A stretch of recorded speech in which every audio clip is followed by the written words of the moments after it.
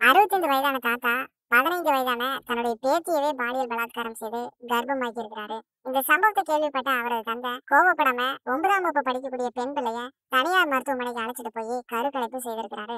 சமீபத்தில் இந்த விஷயம் வெளிச்சத்துக்கு வந்து திருநெல்வேலி மாவட்டத்தையே பரபரப்பு ஏற்பட்டுச்சு திருநெல்வேலி மாவட்டத்தை சேர்ந்தவர் தான் அறுபத்தைந்து வயதான துரை.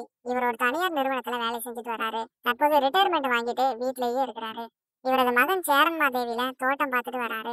வீட்டுல இருக்கக்கூடிய தன்னுடைய பேத்தியை பார்த்து ஆசைப்பட்ட துறை பேசி பேசிய மைக்கு பாலியல் வல்லுறவுக்கும் அழைச்சிருக்கிறாரு. ஒன்பதாம் வகுப்பு படிச்சுட்டு வரக்கூடிய அந்த பேத்தியும் ஆர்வ கோளாறுல இதற்கு சம்மதம் சொல்ல தினசரி அம்மா அப்பாவுக்கு தெரியாம அவங்க வீட்டுக்குள்ளேயே நடந்திருக்கு இந்த சம்பவம். இந்த சூழ்நிலையில பேத்திக்கு பீரியட்ஸ் தள்ளி போயிருக்கு. அதுக்கப்புறம் விசாரிக்கும் போதுதான் பேத்தி கர்ப்பமா இருக்கிறது தெரிய வந்திருக்கு. இதற்கு யார் காரணம்னு அப்பா கேட்கும் போது பேத்தி தாத்தாவை கையை கட்டியிருக்காங்க தன்னுடைய அப்பாவை இந்த தப்பை பண்ணியிருக்கிறாருன்னு தெரிஞ்ச உடனே மகன் இந்த விஷயம் வெளியில தெரிஞ்சா நம்ம குடும்ப மானமே போயிடும் அப்படிங்கறதால ரகசியமா அந்த பெண்ணை கூப்பிட்டு தனியார் மருத்துவமனையில் இருக்கக்கூடிய மருத்துவர் அலமேல அவங்க கிட்ட இந்த விஷயத்த சொல்லி எப்படியாவது என் குழந்தைக்கு கருக்கணிப்பு செய்யுங்க அப்படின்னு மருத்துவர்கிட்ட மன்றாடி இருக்கிறாரு.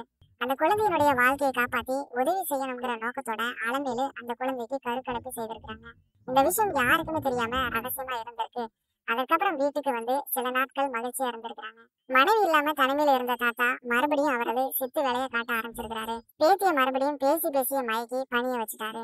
இந்த சூழல்ல இந்த காட்சிய அந்த சிறுமியினுடைய பெற்றோர்களே நேரடியா பார்த்துட்டாங்க.